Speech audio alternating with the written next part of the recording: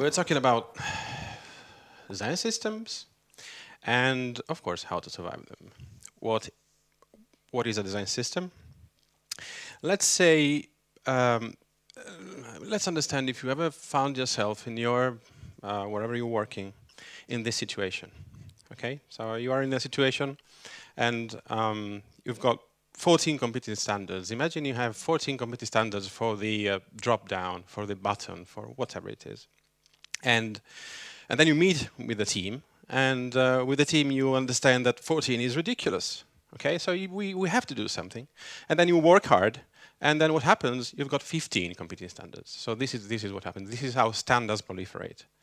And this is where um, design systems come in or better, it, it is where uh, style guides before and uh, design um, and component uh, libraries came before that.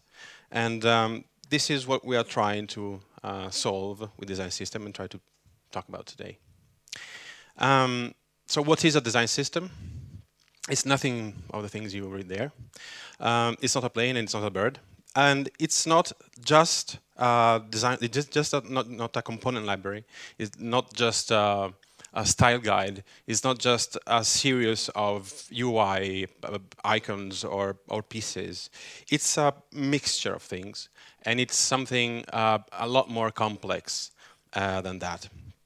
And we'll see what it is. But um, uh, if you're really curious, um, I'm going to tell you. Okay, so I know you're curious, like these two people, so I'm going to tell you what it is. So it is a series of things. So it is a series of um, um, style uh, information, uh, UI components, code components, and more. With more, I mean um, you have uh, documentation. Uh, you can have um, uh, design rules.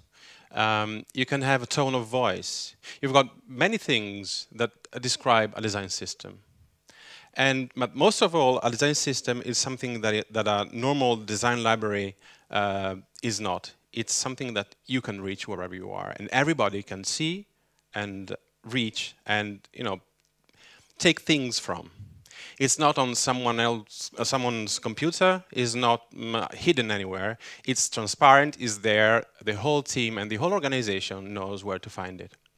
And this is very, very important because everybody has to have the, the view on the, on, the, on the system. And we'll see even why.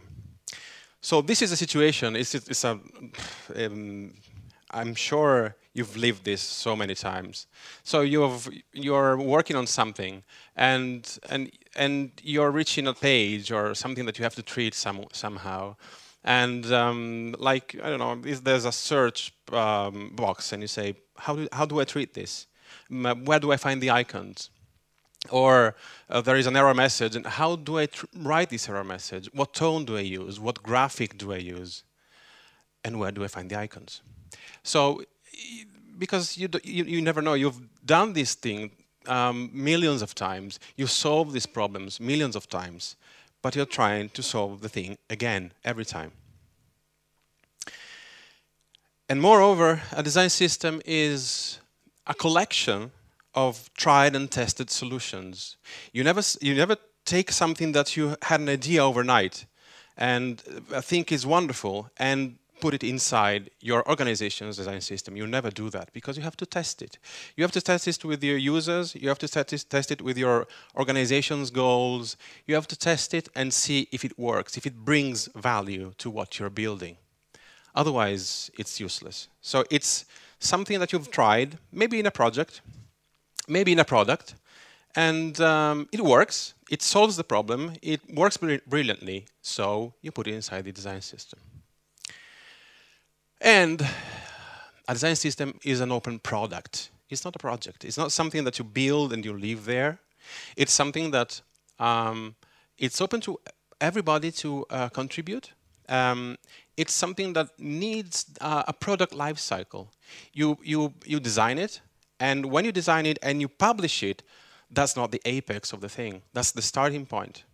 So whenever you are uh, designing a design system and you publish it for the first time, that's the start of the journey. It's not the ending point. Okay? And it cannot be a side project because if it's a side project, it will be uh, forgotten in uh, six months' time. Nobody will use it, and uh, and you've wasted time and money. And it is something. It's a it's a little it's a little animal. Okay, you have to feed it with new information. You have to make it grow, and it's evolving. It's not something that you build once and stays there, or you just do small adjustments. It's something that evolves with your company, evolves with your way of doing things, evolves with your ideas, with your goals. Uh, you have an organization, the goals change, so does the design system. Otherwise, it doesn't respond to what you have to do with it. Okay. So normally, what happens is everybody should participate, but there must be at least one person that says yes and no to the various things. Otherwise, democracy is good, but it's you know it can be it can be really tricky if everybody can decide. Okay, so there must be one curator, uh, the let's say the head of curators, and that does this. Okay.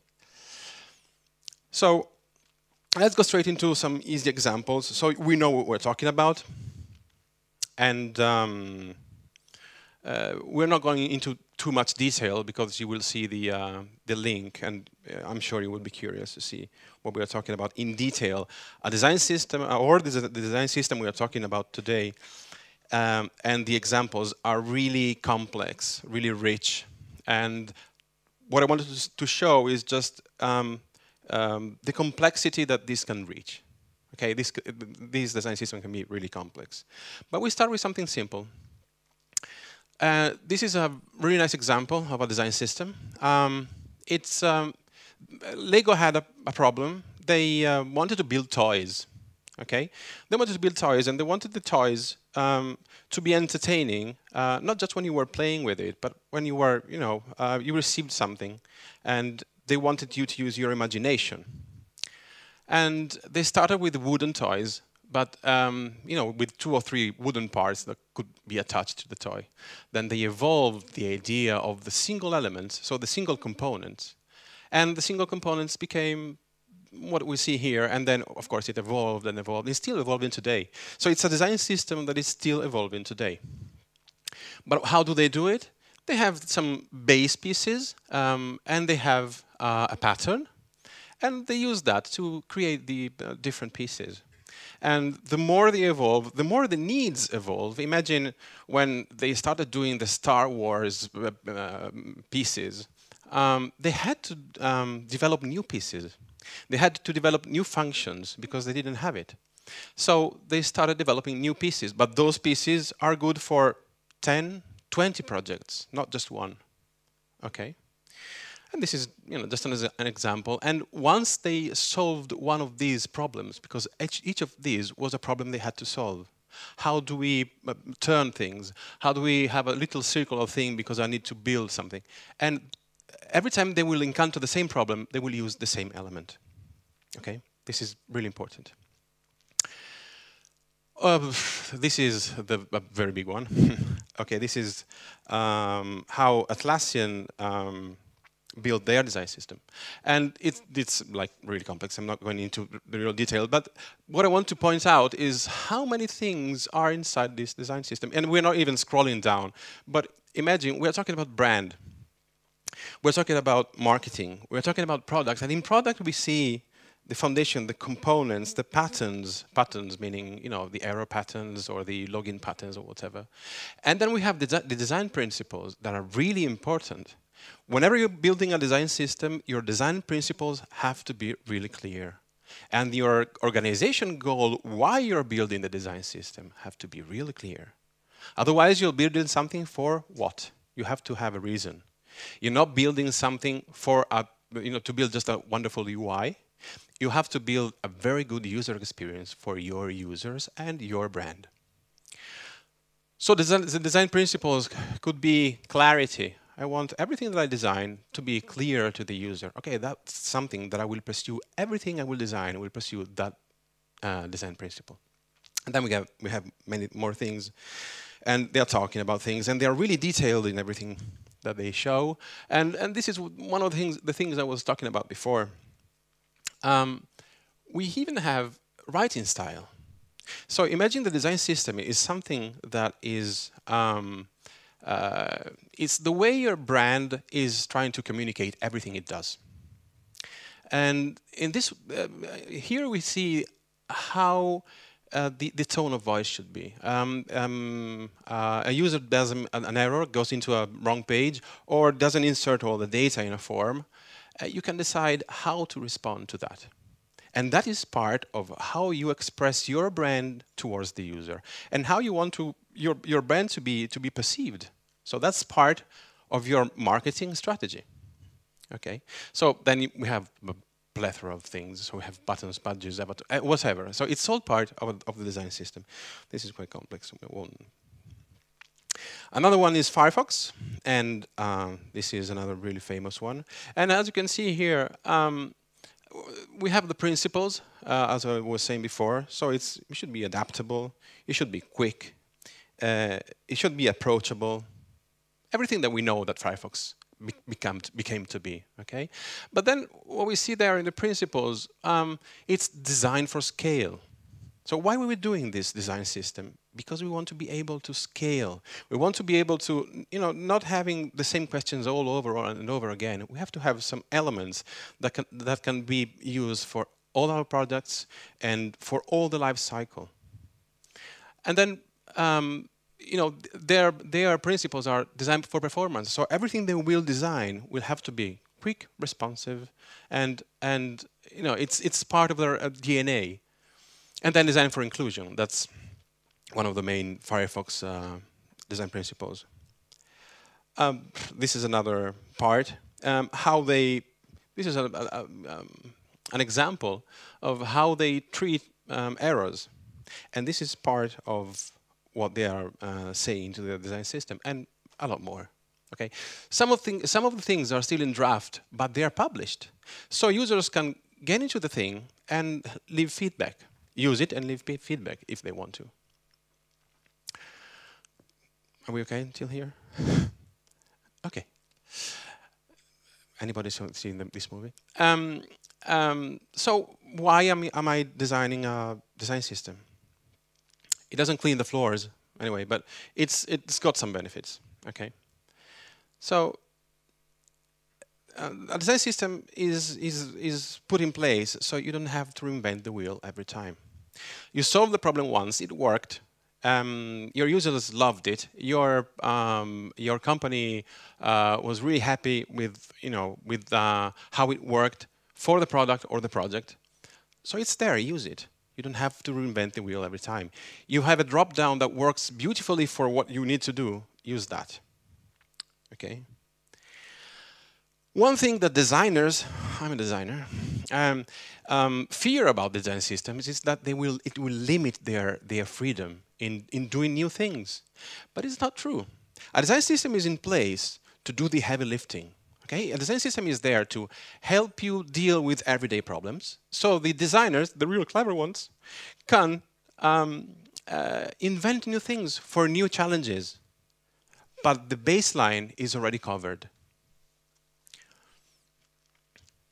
And of course, if you have to sell a design system to your um, head of the company, or you have to, you know, to talk about it and put it in place and put some budget on it, how do you do that?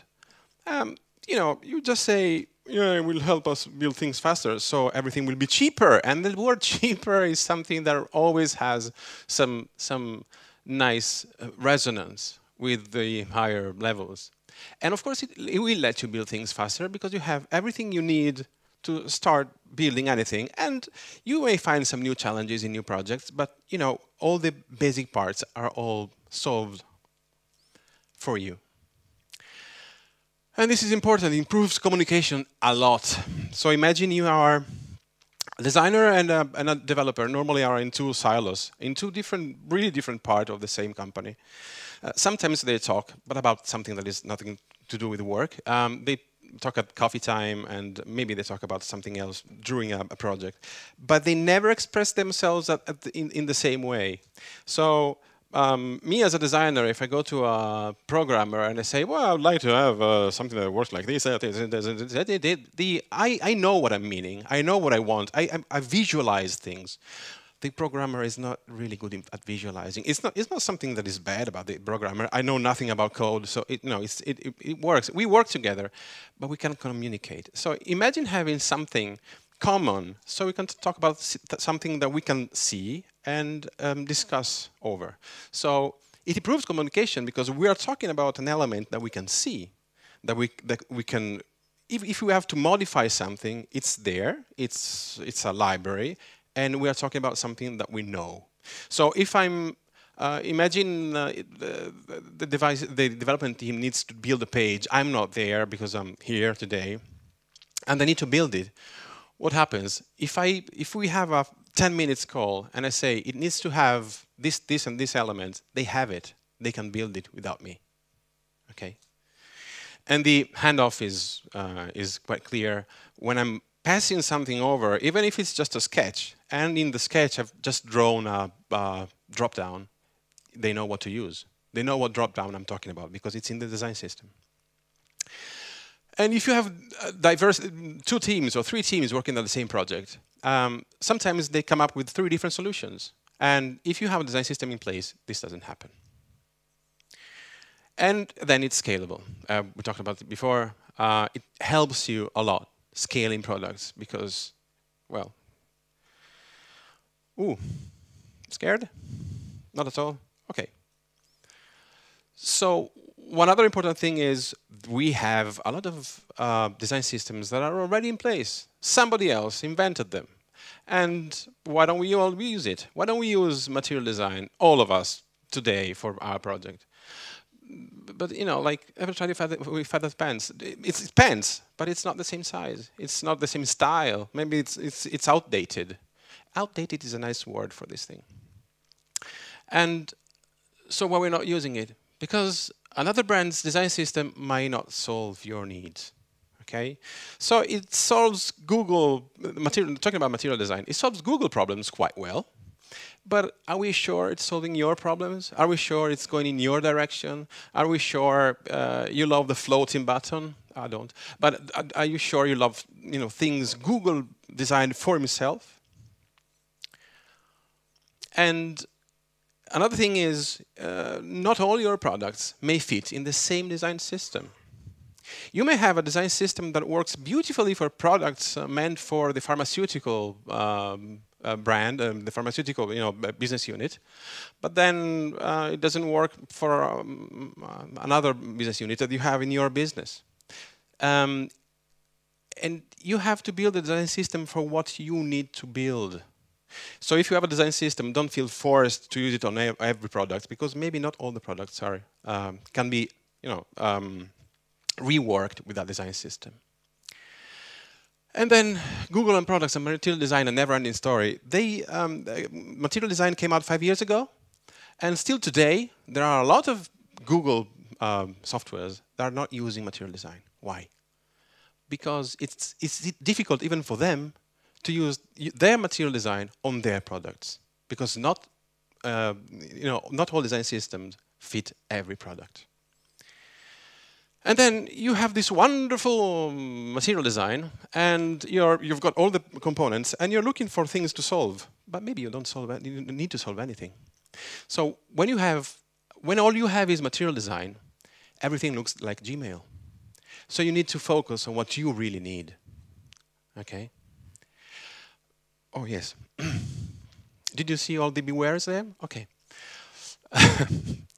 um, how to build a design system. Uh, there's one way there, um, but if you haven't got the force, uh, what you need, first of all, is understand, um, you know, have a team, have someone that does this, okay? So we can have team models. Um, you can have a solitary team model. Um, we have three team models, we'll, we'll see them. It's one team that develops the design system for what they need, Okay, it's a closed thing. So it's a team working on a project, and they build their design system. Maybe one in, in, in a, you know during the lifetime they will share it with other teams, but for now they're using for their product, and the, their product will go on with that design system. Then there's a centralized um, team model. So it's a it's a team that what does it, they they do it for a, for a, their job is to design and maintain the design system for the whole organization. and for the, for the other teams. And then we have the federated team model. So people from multiple uh, product teams or teams inside the organization um, work together to build the best design system possible. And they're bringing to the table all the experience from different kinds of, uh, you know, different parts of the company. And that's the best part, the best thing, because you've got ideas, you've got feedbacks, you've got, you know, all the things you need to build the perfect design system. And the best team is this one. Um, imagine having this team, apart from Hulk, that is a bit daunting there, but it's um, um, all these people, everybody has a different skill. And all this, if all these people uh, wanted to build one design system, they would build the perfect design system because they have mm, different skills, different experience, and different uh, way, um, points of views. Um, and there are two, ma two main ways to build a design system. You can start from scratch. You've got nothing. Um, or everything that you designed until now is rubbish. Or you're starting a new brand. You're starting a new brand, so you say, well, let's build a design system. Um, what you do is start small. You start with something, some elements that in your project are very valuable. Imagine your mm, project has got a lot of forms, let's say. You start from that building the, the form, one form. That works. You have to test it. You have to test it with users. You have to test it internally. If it works, you promote it. And then you pass it, you know, you, you go on with another little piece. You never boil the ocean overnight. Okay? So you have to start small and build small pieces and test them and validate them piece by piece. Or you've got some products that have been successful. What you do is see if some of the things you already designed um, are useful for your design system. So it, they they have they prove to be um, wonderfully um, useful, and um, they um, uh, the users thought they were wonderful. Why not? You can promote them to your design system. Um, and one advice I can give you is whenever you have a design system, try always um, to have design versioning. So you know that what you're designing is aligned with the code. Of course, the design system is a mixture of code and design, but try always to be aligned. So a programmer that has got his version on GitHub or whatever knows what, what piece of uh, UI or interaction to use. Okay. Remember, a design system is a product it's, it's got the life cycle of a product. So it's not, as we said before, you need to do your research. You need to know your users. You have to um, put in the same room the stakeholders, the designers, the product leaders. You have to talk about it. You have to understand what you need to solve. You have to understand what your goal is. You have to understand the product 100%. And then you have to build your design principles, uh, as we, uh, we've seen before. So what are your design principles? I want the UI to be beautiful. Okay, that's one design principle. But then, um, do you want it to be accessible? Do you want it to be usable? Do you want it to be uh, inclusive, like we said before, we saw before? And your design principles have to be really clear for everybody. Okay. So the designer, when starts building the design system, has got some basic rules. And clear shared goal, of course, as we said before. And this helps you building the best system possible then it's up to you. And it's really important that you think about accessibility and usability while you're building your system. Not after, not when the system is in place, because when the system is in place, it's too late. You can do it, but it's not the best practice. Imagine um, baking a muffin with the blueberries inside. It, it's, it's, a wonderful muffin. Imagine baking a muffin without the blueberries and trying to stick them inside after you've baken it. It's not the same thing. It's a blueberry muffin, but it's all broken. Okay? So um, the thing is, if you build a design system with accessibility and usability uh, in place, when you build something, it's already accessible and usable. And uh, one important thing is you never want to add something to a design system that has never been tested. Never ever, because um, it can break something, it can break everything, or um, it's just unusable or you know um, renders the whole design system uh, a bad design system. So uh, you never add you know a new ingredient for your most important evening uh, dinner uh, with a, a, new guest. Even if you know really know if you really know the recipe, but you don't know the ingredients and how it will interact with all the, with the rest of the ingredients. Look at his face. and you have to document everything that you decide, everything that you want the thing to do. It has to be documented. You have to document even the whys, not just how it works, but why. Why did I choose that? So everybody, even um, in a year's time, uh, new people come to your organization. They can read the document and understand, really understand the design system, understand the choices, understand how it works and why. So the new designs will be aligned uh, with the uh, uh design system. okay, this is another thing to remember, really important. Um, what are the tools that I need? Well, here the, the tools are, uh, there are a lot of tools. Um, the major thing is it has to be something in the cloud or easily reachable by any, everybody. So we're talking about documentation. We're talking about uh, code snippets or code components or UI components.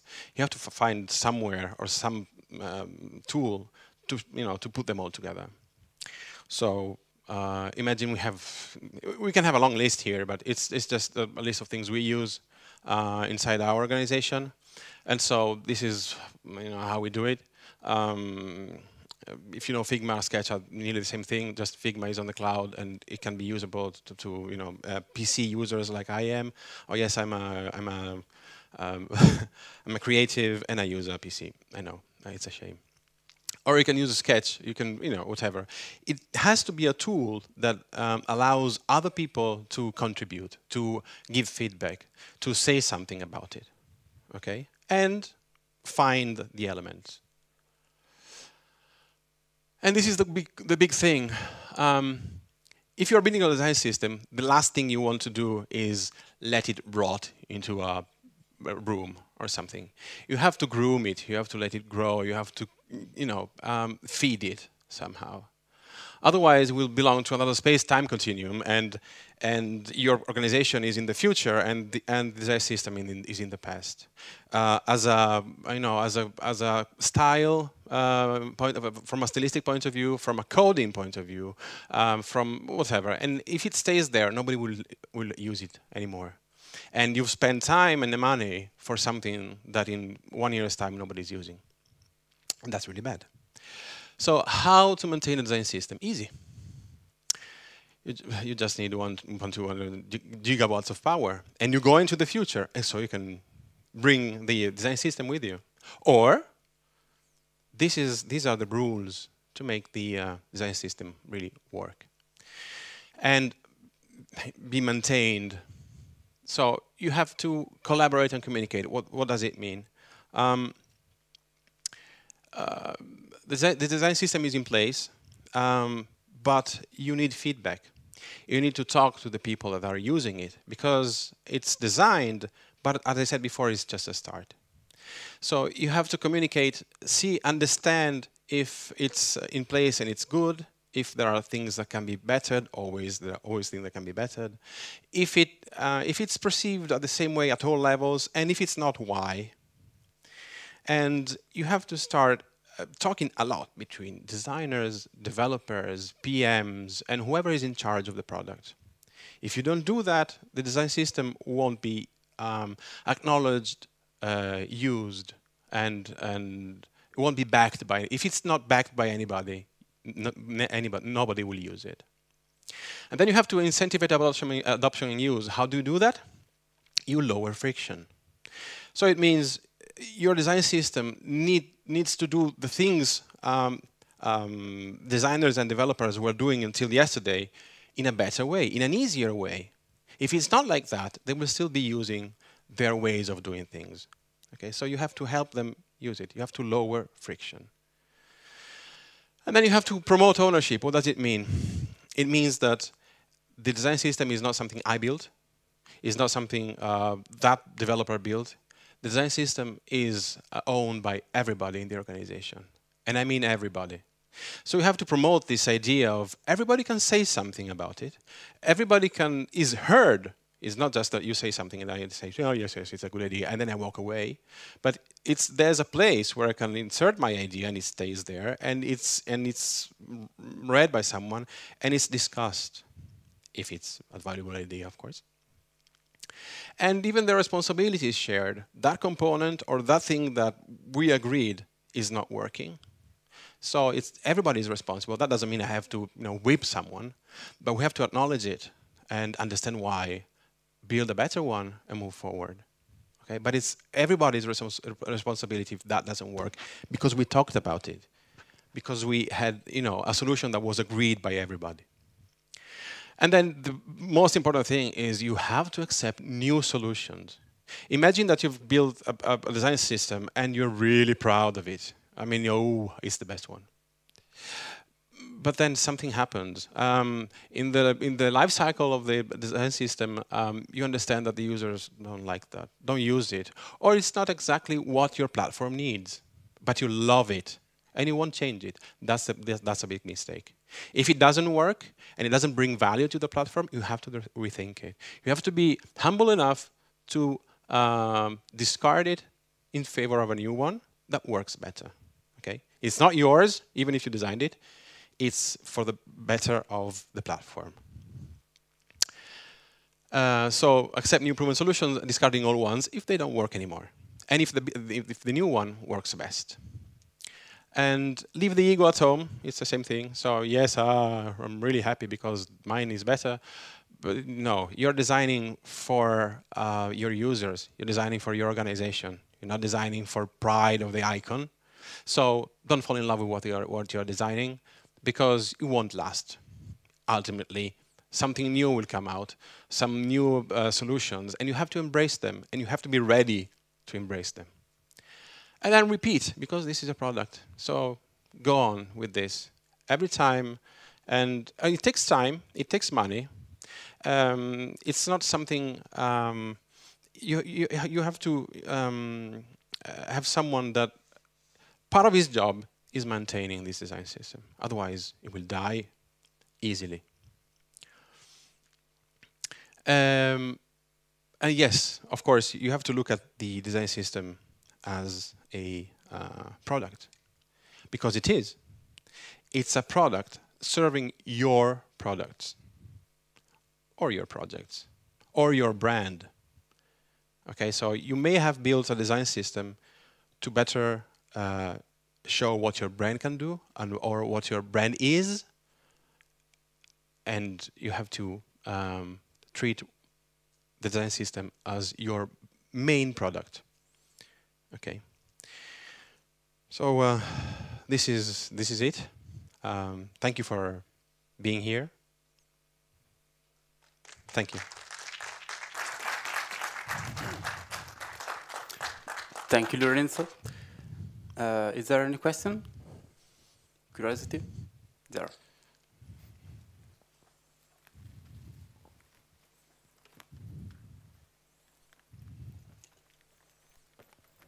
Not a difficult one, please. uh, so um, it's not surprise that uh, a design guy is pushing for developing a design system, right? Like we should not use material or anything like that and do our own stuff. And I'm a developer and I would always think like it's a bad way to go and we should keep on using the same things as most people is using. And actually last year we made a decision to stop using material and go with our own design system. I was afraid, but we made this decision because it was actually hard to fit uh, our need with material, as you said, not the right size, right? So it's a, the best thing I could say to you to, to, to, today, not to use material design.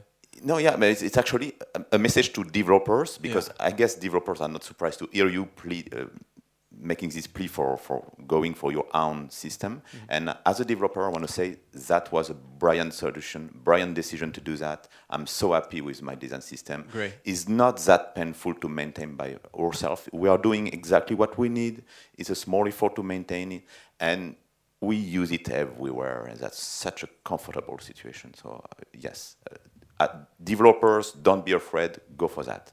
Yeah, and I really love what you said. It's um, our design system is small. It doesn't have to be as complicated as we saw. It can be as small as you need it to be. And sometimes, if you've if, if you've seen the the history of the Slack design system, if you ever tried to see how how it worked, they started with like um, I don't remember the exact number, but like uh, 100 colors, different colors. Now they have six. So what, what they did was simplify, simplify, simplify, and, and, with the feedback of the users, understand what they really need, what, they, what were the core uh, elements. Now the design system is really small, and it's Slack. Okay, it's not. Uh, it's not my little software in the in the bedroom. Is you know, and and what they did was simplify it uh, to make it maintainable, but to make it even easier for the people to build new things so they have lesser elements, but only the ones they really need. So I really like that. Thank you. Any other question? Anything? I want a beer. oh, yeah. okay. So thank you, Lorenzo, again. Thank you.